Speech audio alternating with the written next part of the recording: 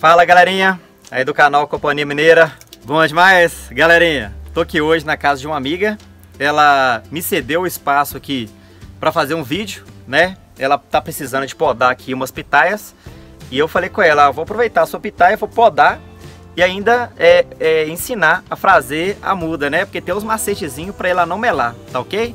Né? Às vezes você põe em estaca aí, você tá perdendo, a pitaia tá apodrecendo, não tá vingando, né? Ou tá demorando e eu vou te falar por quê. Tem uma macetezinha e talvez você não está seguindo. Coisa boba à toa, mas que vai fazer uma grande diferença, tá bom?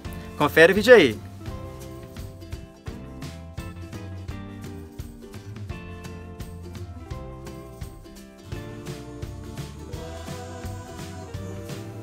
Bom pessoal, é, para começo aqui eu vou mostrar os pés de pitaia.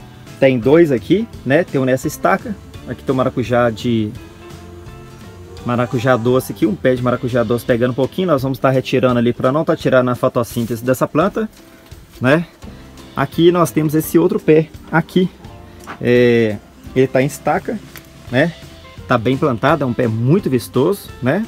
Só que já está com hastes grandes, tem algumas mudas a mais aqui, a gente vai estar tá dando uma limpeza aqui. E observa aqui, olha, essa aqui está plantada no canto, no muro, né? Olha quanta galha aqui embaixo, aqui, ó. Ela já está um pouco sufocada, não está pegando luz. E olha ali, olha. Onde que ela está indo, olha. Gigantesca, gigantesca, galera. Tudo ali é, da flor, da fruto. Ela fala aqui que planta, dez, acolhe, né, perdão, dezenas de frutos aqui em toda a temporada, né? Só que você vê que ali no fundo já não está pegando luz ali, ó. Então já não é um lugar bom para flor, né? Já não dá floração. Aqui tem um pouquinho de framboesa na frente. É, vou estar tá mostrando para vocês, vou estar tá tirando umas galhas dessa framboesa aqui. Vou estar ensinando também a fazer muda dela, que é uma planta extraordinariamente top, tá bom? Então vamos lá para a escolha, escolha da estaca. Qual que é as melhores estacas para estar tá tirando, para estar tá fazendo a muda, ok? Vamos lá para o primeiro passo, é essencial na formação da muda de pitaia por estaca, ok? Observa essa brotação aqui, ó. Ela é nova, tá vendo? Ó, só folhas novas, né? Caules, né? Nem folha, né? Perdão, né? Cacto aqui ele não desenvolve folha, isso é um caule, tá bom pessoal? É, perdão aí, desculpa, viu? Ele faz fotossíntese pelo caule, né? Ele é um cacto, então ele desenvolveu essa característica. Aqui que deveria estar as folhas dele, ó. Né? Ele substitui por espinhos para não perder água, né? Então por isso que é uma planta que você não deve regar muito, ok? Então vamos lá para a escolha é, da planta aqui, né? Qual que é o caule que eu devo remover para estar tá fazendo muda? Observe esse aqui, olha, bem novinho, olha. Verde, molinho, bonito, vistoso, tá vendo? Olha, a coloração muito bonita. Esse você não vai escolher. Parece ser uma planta legal, parece ser um caule legal para tirar, né, para fazer a muda. Porém, ele é um caule novo. Você tem que pegar um caule velho como aquele ali, olha, um verde escuro.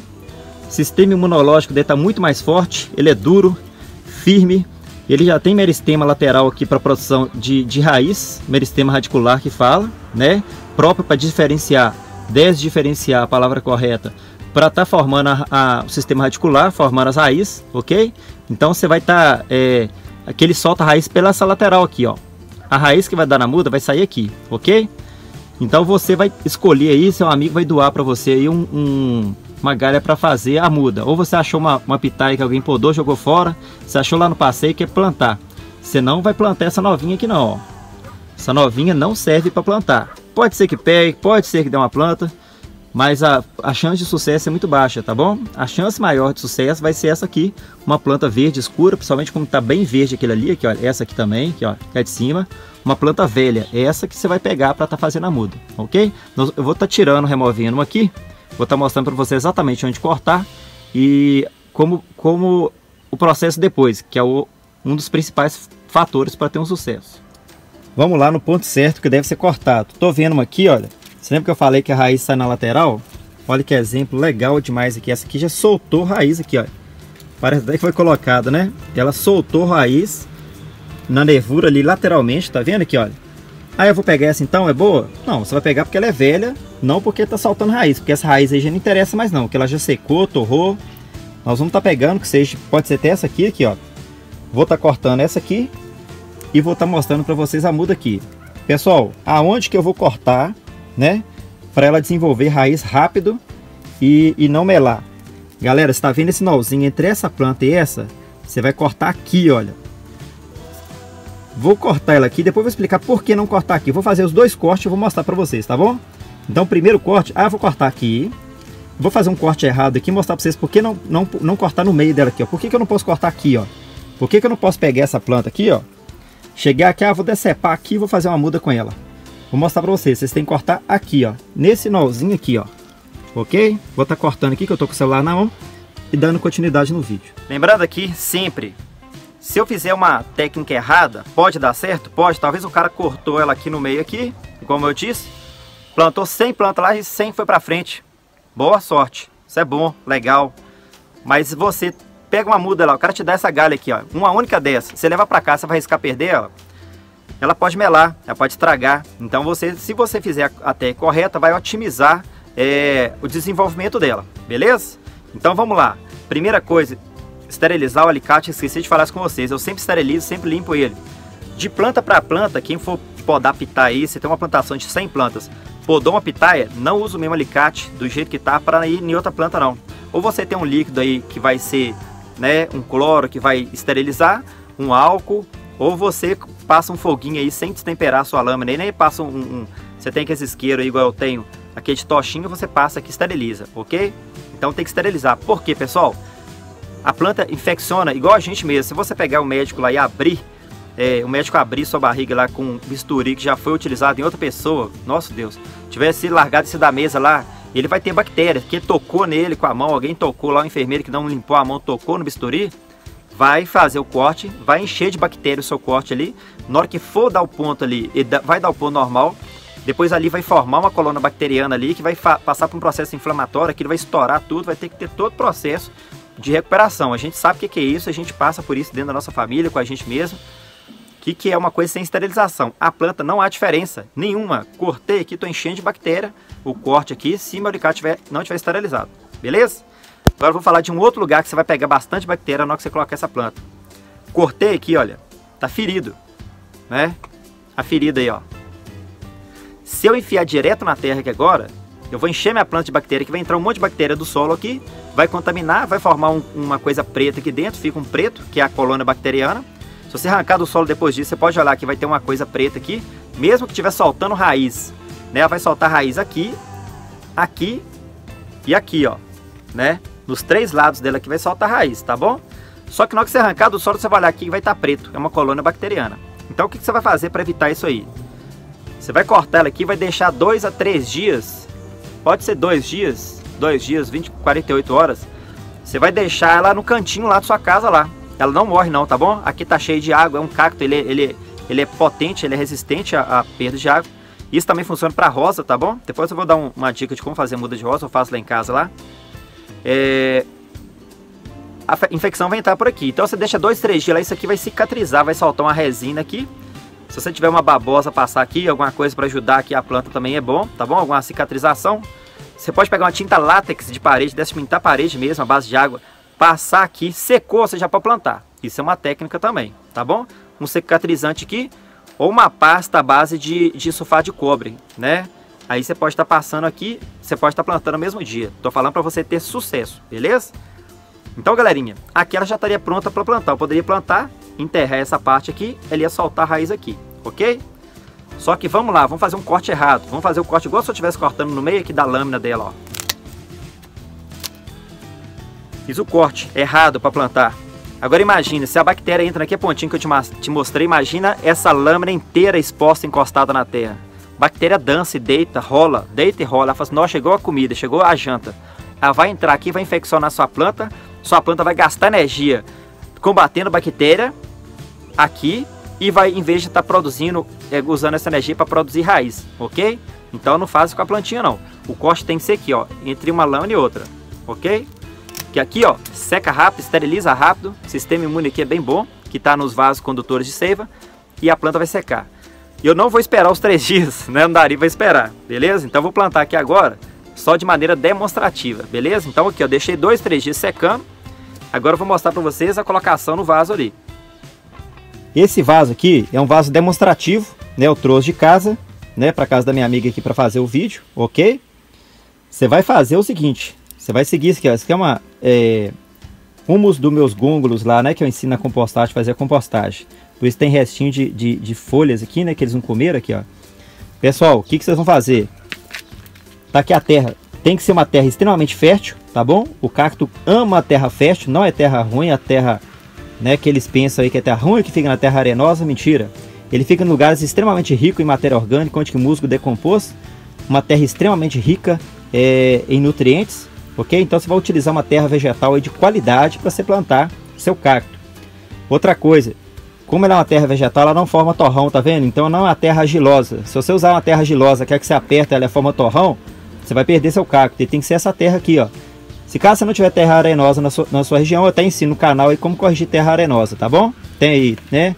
Terra solo argiloso, como resolver. Então tem como você corrigir e tornar ela, essa terra aqui, ó. Não pode formar torrão. Por que, que ela não pode formar torrão? Na hora que você jogar água aqui, o cacto tem um poder de absorção muito rápido, né, da, da, de água, tá bom? Por isso que ele mela se você aguar muito. Ele mela porque ele chupa água tão rápido, vou falar assim, ele absorve água tão rápido que ele estoura as células dele, é, é, estoura igual um balão enchendo de água, enche, enche, enche, enche tanto que estoura, tá bom? Então, por isso que você tem que regar pouco o cacto, não precisa regar muito. Então essa terra aqui tem que ser uma terra que drena rápido. Então quando ela é rica em matéria orgânica, assim, não forma torrão, ó, a, a, água corre com facilidade dentro dela. Então primeiro coisa, solo fértil, tá bom? Terra rica em matéria orgânica, bem fértil aí, seu cacto vai bombar, vai ficar lindo, beleza? Outra coisa, pessoal, esse vaso aqui já está cheio de terra, não dá para ver. No vaso do cacto, você vai colocar um vaso com furos grandes no fundo, tá bom? Você vai, né, o, o furo que, que seja ali 8, 10 milímetros, para vazar água o mais rápido possível. E aguou, vai ficar encharcado, ele vai absorver ali. Depois é interessante o solo voltar a ficar levemente úmido como está aqui, mas sem estar tá molhado, porque o cacto, como eu disse, ele absorve água muito rápido, ele estoura as células dele. Então não é interessante molhar muito ou ter um solo encharcado. Então você pode colocar uma cama de brita, depois que você faz os furos, coloca uma cama de brita mais ou menos dessa altura, para a terra não tampar esses buracos. Depois coloca essa terra adubada em cima, né? E você vai ter sucesso aí, vai ter uma drenagem mais rápida e vai ter sucesso. Que nós estamos falando de um, de um cacto, né? Então eu vou estar tá colocando ele aqui. O que, que você vai fazer? Ah, deixei secar lá dois dias meu cacto. Você não vai chegar aqui, ele é duro, forte, vai chucha dentro da terra aqui. Não faz isso não, você vai abrir ferida de lado aqui, abrir a ferida de novo aqui, abrir lateralmente, você vai contaminar seu cacto. O que, que você vai fazer aqui, ó? Você vai abrir com a pazinha, beleza? Abrir o espaço lá aonde que ele tem que entrar. Terra tá bem fofinha, que terra top com cacto. Abriu a terra, pessoal, você vem e coloca o cacto. Bem de levinho, sem apertar para ele entrar, né? Cavou o tanto que ele tem que entrar. Você vem com a, com a terra e chega com ele aqui, ó. Você vai enterrar só quatro partes, só quatro dedos, perdão, só quatro dedos da, da haste do cacto. A, a haste aqui é grande, né? Digamos que ela fosse grande, maior do que essa aqui, e ficasse tombando. Aí você vai colocar um tutor. O que é um tutor? Um pedaço de pau na lateral para firmar ele, para amarrar ele nesse pedaço de pau. Quando ele soltar a raiz, você pode estar tá tirando. Isso aqui é para formação de, de, de, muda. Se você for plantar direto no solo, o que, que você vai fazer? Você vai abrir um buraco no chão de... Esse aqui tem 30 aqui, ó, de largura. Você vai abrir um buraco de 40 por 40, 40 de profundidade, colocar essa terra fértil aqui, para na hora que a raiz sair dele, achar uma terra fértil, adubada e se tornar uma planta bonita, ok? Solo 40 por 40 por 40. Você vai abrir ali com a cavadeira ali, né? É, tatu ali. E vai estar tá colocando um solo fértil lá dentro, ok? Se você quiser jogar de preferência, a princípio, um calcário também para neutralizar o pH do solo, a 30 dias antes, fica mais top ainda, ok? Ali dentro daqui buraco ali, né? Com incorporado com um pouquinho de terra, vai regando ali. E o, e o o pH vai ser controlado. Colocou aqui, galera, igual no meu caso aqui, ó. Essa aqui tá pronta aqui, ó. Só deixar aqui ela vai pegar, tá bom? 100% garantida. Ela vai soltar a raiz nas laterais aqui, dentro desses suquinhos aqui, ó. Aqui ela solta a raiz, ela vai pegar. Ah, pessoal, acabei de plantar aqui irrigação. Você vai socar água nela aqui, não tem problema não. Você vai irrigar aí duas vezes por semana só. Só duas vezes por semana, tá ok? Pode chegar a terra até na borda do vaso aqui. Eu trouxe menos terra, porque eu trouxe meu carro ali. Você pode chegar a terra até mais em cima aqui, não, trans, não precisa transbordar não, na hora que escorregar para não cair água para fora, levar barro para o seu chão. Você pode trazer terra até aqui, ó. Assim que ela pegar aqui, você transporta para o chão ou coloca num vaso maior. Ok? Irrigação só duas vezes por semana.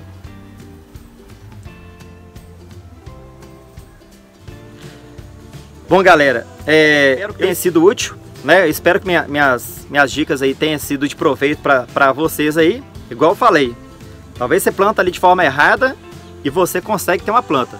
Mas se você quiser otimizar, melhorar, para não ter aquele momento ali, olha, plantei minha plantinha ali, com o tempo ela morreu, né? Ou ela não ficou legal, não foi para frente. É por isso, galera, por causa de contaminação. Ah, pessoal, deixar no sol rachando, tá bom? Isso aqui gosta de sol direto. Você vai deixar no lugar que pega bastante sol, beleza? É, é uma planta, é um cacto, né, da família do cactácea, né? É, então eles gostam muito de sol ok? Eles não têm folha, né? As folhas foi substituído por espinho, então ele não perde água, como uma planta comum. A água fica dentro do caule aqui, então ele é uma planta que aguenta bastante sol, gosta de sol na verdade, faz fotossíntese pelo caule, né? O caule é verde, diferente da, da maioria das plantas, ok? Então, se você gostou aí, dá um like, compartilha, faz algum comentário, se tiver alguma pergunta você pode fazer. E no mais, é só isso, tá bom, galera? Eu agradeço pela atenção e até o próximo vídeo. Tchau, tchau.